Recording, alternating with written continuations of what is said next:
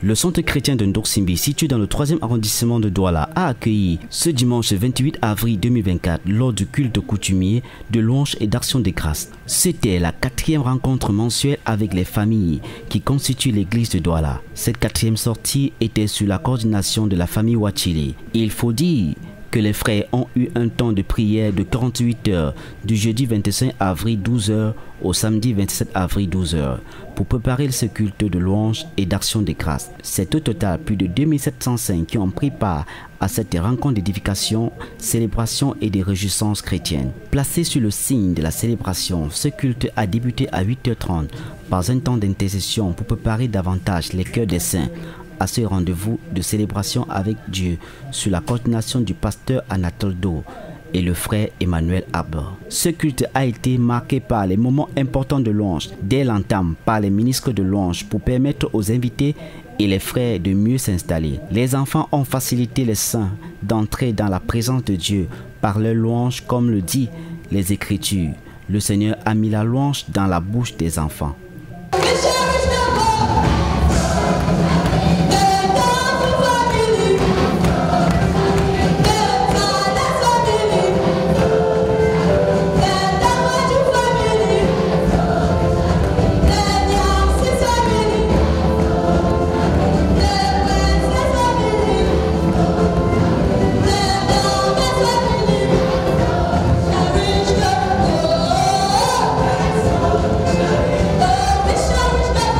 Les semeurs, à leur tour, ont célébré le Seigneur et édifié l'assistance avec quelques chants d'édification évangélique.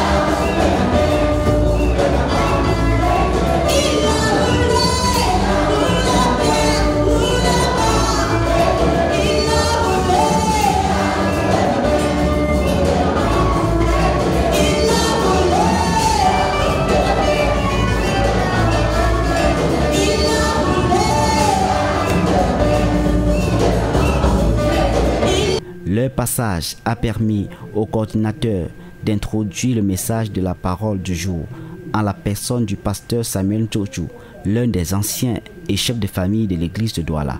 L'homme de Dieu s'est inspiré des paroles d'un cantique des semeurs pour introduire son message. Il est vivant et il sauve. Il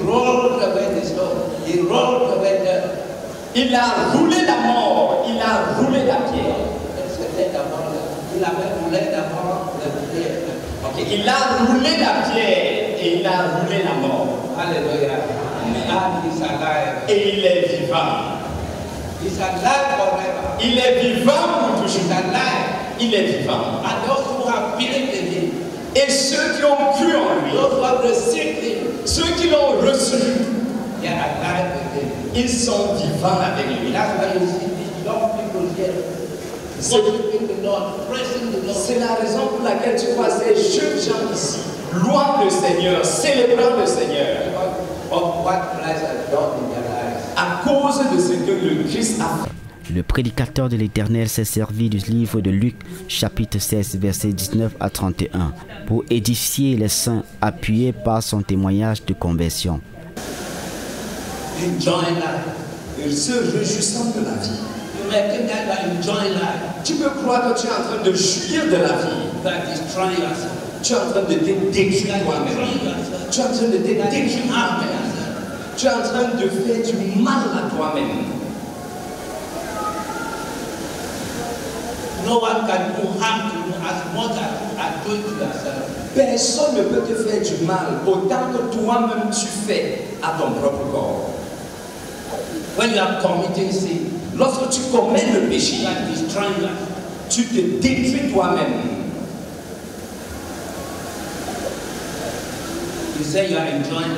Tu dis que tu es en train de jouir de la vie. Voilà ce que j'avais fait. C'est la vie que j'avais vécue. Son témoignage très touchant a permis à plus de 84 âmes d'ouvrir la porte de leur cœur au Seigneur Jésus-Christ.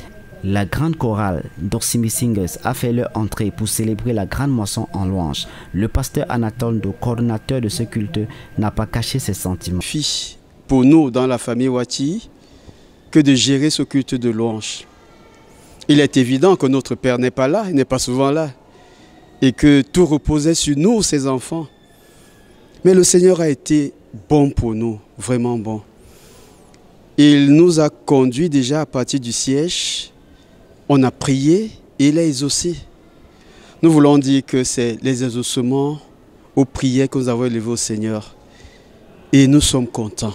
Nous lui rendons la gloire. L'équipe de RVC, quelques minutes après ce culte, a fait un briefing de ce culte au studio de RVC Douala avec quelques dirigeants. Nous bénissons le Seigneur pour ce culte. Le prochain rendez-vous, c'est le dimanche 26 mai 2024. À Dieu toute la gloire.